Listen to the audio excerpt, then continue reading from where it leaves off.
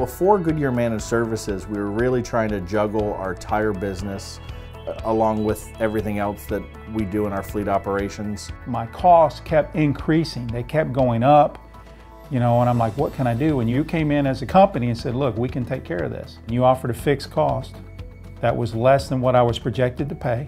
So I said, let's try it. I mean, what do I got to lose? Our core business is building materials. We're not tire experts. No one here is. Um, and, and a lot of it was lack of knowledge and lack of true understanding of tire wear patterns, casing management, um, and which tire was the correct tire to put on a truck. I had your proposal and I was thinking about it. And then it dawned on me one day that what you were bringing to me was a partnership. Okay, you had buy-in as well because you had promised me that you would take care of this fleet with this X number of dollars. So where before, the other people, they made their living by selling me stuff.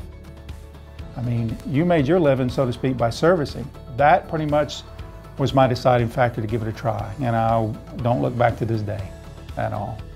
Our tire expense fluctuated. It, it could vary from $3,000 a month on a great month to well over $10,000 a month. With the managed services program, that number is flat. It's, it's predictable.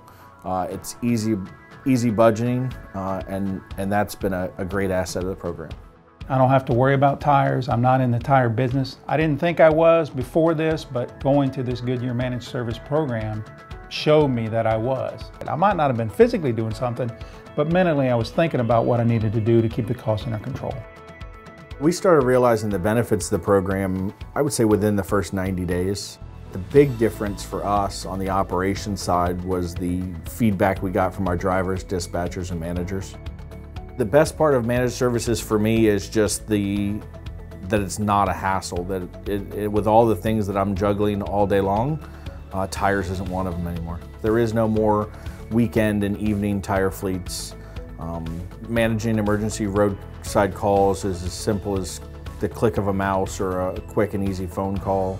Probably my favorite thing about Goodyear Managed Services is the partnership we have, the communication we have, and that I do not have to think about the tires anymore.